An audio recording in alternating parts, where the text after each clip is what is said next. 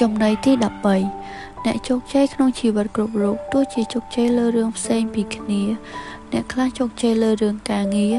អ្នកខ្លះជោគជ័យលើរឿងលុយកាក់រីឯអ្នកខ្លះទៀតជោគជ័យលើរឿងគ្រួសារក៏ដោយប៉ុន្តែគ្រប់រូបមានលក្ខណៈដូចគ្នាក្នុងរឿងផ្សេងគ្នាគឺគិតកិច្ចការធំសុបិនដ៏អស្ចារ្យប្រកបដោយភាពក្លាហាន គិតការងារធំមិនមែនមានន័យថាស្រមៃហួសហេតុទេ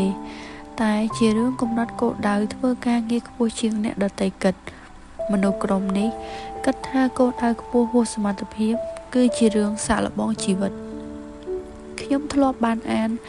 ប៉ះខ្លឹមសារមួយកន្លែងនិយាយថា អ្នកមានទ្រព្យសម្បត្តិឬអ្នកជោគជ័យខំធ្វើការងារធ្ងន់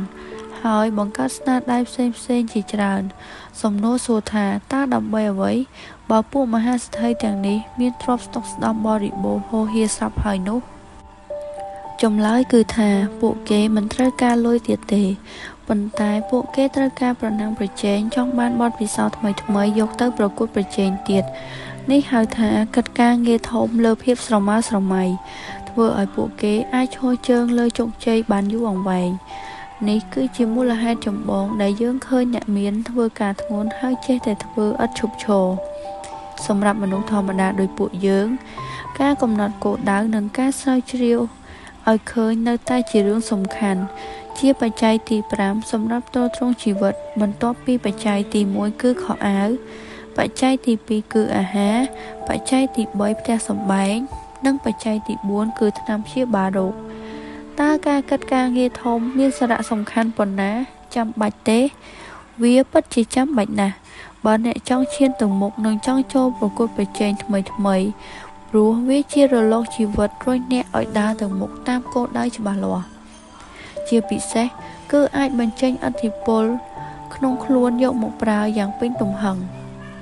កិច្ចការធំ មិនមែនត្រឹមតែជាការស្រមើស្រមៃប៉ុណ្ណោះទេ គឺត្រូវតែអនុវត្តឲ្យបានតាមគំនិតដែលគិតទុក មនុស្សមួយចំនួនគិតការធំតែមិនអនុវត្តនោះគេហៅថាស្រមើស្រមៃកណ្ដាលថ្ងៃត្រង់ដែលទន្ទឹងរង់ចាំឱកាសជោគជ័យមកដាស់ស្ទើរដាច់ខ្យល់បើយើងចង់មានការប្រណាំងប្រជែងក្នុងជីវិតនិងចង់ធ្វើឲ្យជីវិតភ្ញាក់ផ្អើលចូលស្រមើស្រមៃឲ្យធំ ហើយហ៊ានគិតកិច្ចការធំក្រៅពីនេះត្រូវអនុវត្ត នោះគឺគោលបំណងតែមួយគត់គឺជោគជ័យក្នុងជីវិតហេតុអ្វីចាំបាច់គិតកិច្ចការធំ បើគិតតូចតូចមិនបានទេឬព្រោះគិតតូចតូចអ្នកណាក៏អាចធ្វើបានអាក្រក់ជាងនេះទៀតបើអ្នកគិតរឿងតូចនាំឲ្យអ្នកគិតតែរឿងធម្មតាធម្មតានឹងគ្មានការប្រណាំងប្រជែងទេបើយើងសាកគិតកាន់តែធំនឹងធ្វើឲ្យល្អលើសមុននឹងញ៉ាំងឲ្យយើងអភិវឌ្ឍគំនិត អភិវឌ្ឍសមត្ថភាព មានឧទាហរណ៍ជាច្រើនតកតងនឹងអ្នកជោគជ័យដោយបងប្អូនត្រកូលរាយពីអ្នកបងប្អូន តែងតែគិតការងារធំជារឿយៗគិតថាមនុស្សគួរមានស្លាប់ហើរដោយសត្វស្លាប់ទើបបង្កើតវត្ថុចម្លែកចម្លែកឡើងមកនៅទីបំផុតពួកគាត់ក៏បានជោគជ័យអាចផលិតយន្តហោះបានធ្វើឲ្យមនុស្សយកជ័យជំនះការដើរលើដីដោយធ្វើ ដំណើរតាមអាកាសយ៉ាងសប្បាយបានដោយសត្វស្លាប់អ៊ីចឹងដែរជាយូរលង់មកហើយជនជាតិឥណ្ឌាមានវិធីបង្វឹកកូនដំរី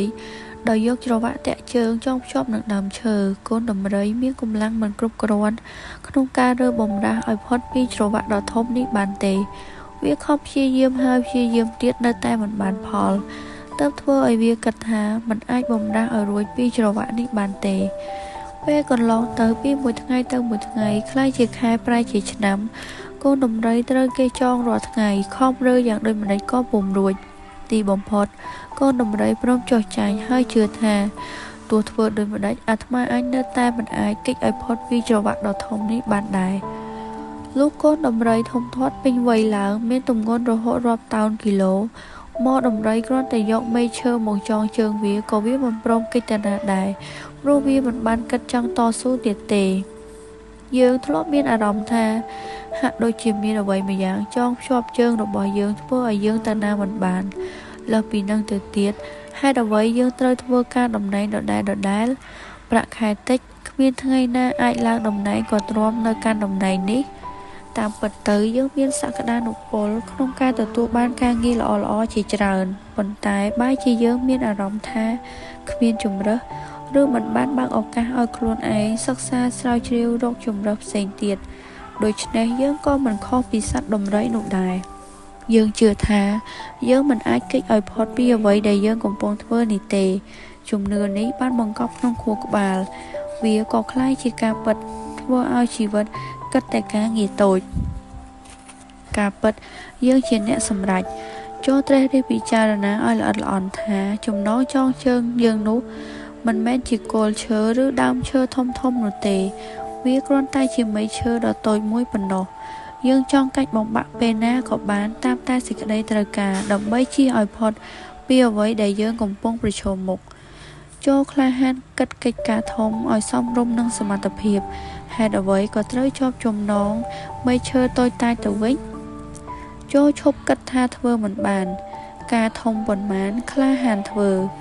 មិនបញ្ហាទេត្រឹមមេឈើសាក់លបងលោមើនឹងដឹងគ្នាទោះបីលោកអ្នកសិទ្ធក្នុងកលៈទេសៈណាក៏ដោយមិនត្រូវចោះចាញ់នឹងមជ្ឈដ្ឋានជុំវិញខ្លួនទេចូលដាស់តឿនខ្លួនឯងថា